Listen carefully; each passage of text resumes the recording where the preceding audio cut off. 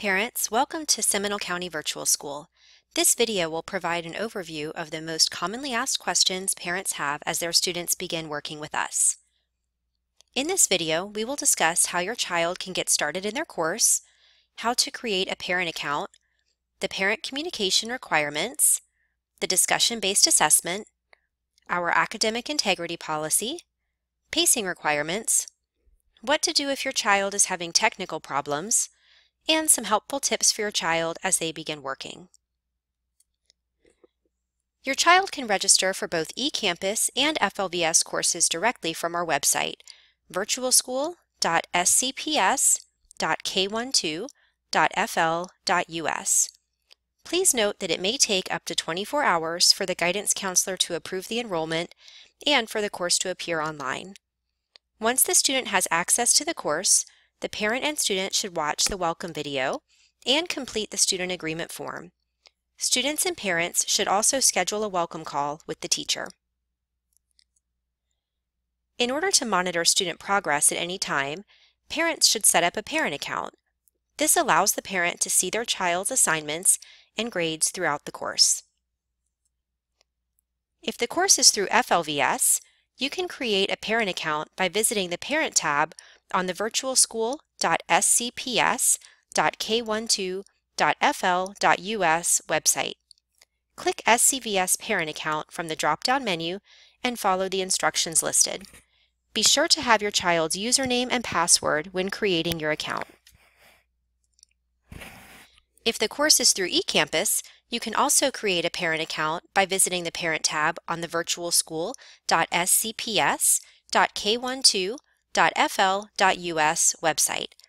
Click eCampus Parent Account Sign Up from the drop-down menu and follow the instructions listed. Again, be sure to have your child's username and password when creating your account. Parent and teacher communication is very important in the virtual school setting. Parents should expect to communicate with the teacher at least once per month. During the welcome call, parents can indicate which method of communication is preferred, email, text, or phone call. Please keep in mind that if a student is struggling, the parent contact will increase and the contact will typically be completed via phone call. Students are required to complete discussion-based assessments, or DBAs, in every course. Students will be asked to answer questions about the module during these phone conversations with their teacher. The questions will review the key topics in each module, making sure that the student is prepared to take the module exam. Teachers can also help clarify any conceptual misunderstandings the student has during these calls. This is a great way for the student and teacher to connect on a regular basis throughout the year.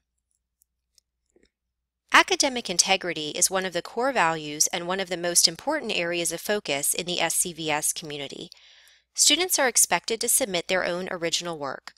Teachers use a variety of monitoring tools in order to ensure that the students are completing their own work. All academic integrity investigations are turned over to FLVS. Parents and students are notified of any academic integrity violations and consequences. Each course has a unique PACE chart. It is very important for the student and parent to be familiar with the PACE chart to determine the number of assignments that are required each week. The students should be sure to complete the assignments in the order in which they are listed on the PACE chart. Our goal at SCVS is for students to successfully complete their courses in a timely manner so as not to impede their promotion to the next grade and or graduation from high school. Keeping up with the course PACE chart will ensure this completion. Should you or your child experience any technical problems, you can contact the appropriate help desks. Within FLVS courses, visit help.flvs.net or call 1-800-374-1430. Within eCampus courses, you should contact 1-855-981 8103. Be sure to keep the teacher informed of any technical issues as well. As your student begins working, please keep in mind the following helpful tips. Students should save all of their work.